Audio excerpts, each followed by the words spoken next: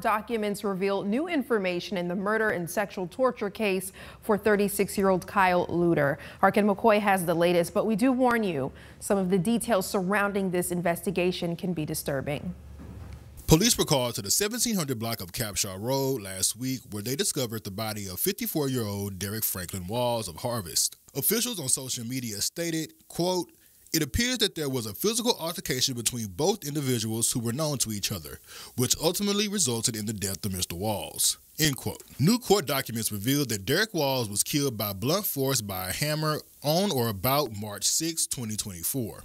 As for the sexual torture charge, We'll share in part that the victim was still alive when he experienced non consensual penetration of an orifice with an inanimate object on or about March 5, 2024. Lewter was expected in court today, but the appearance was postponed until April. While he was granted and posted bond for the murder charge, he has not been granted bond for the sexual torture charge. That will be addressed at the same time as his preliminary hearing on April 11, 2024.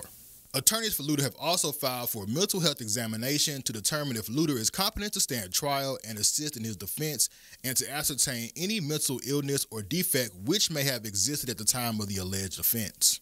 Lewter was active in the Madison County community. He was elected chairman of the Madison County Young Republicans in February 2022. We'll continue to follow this case and bring you more information as it develops. For Fox 54 News, I'm Ken McCoy.